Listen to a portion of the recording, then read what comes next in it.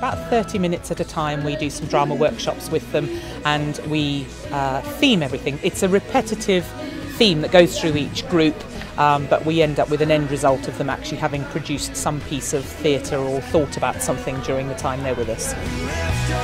Working with such a variety of age group of children who come in with anything from no enthusiasm at all and a bit scared to having huge amounts of enthusiasm and just trying to bottle some of that.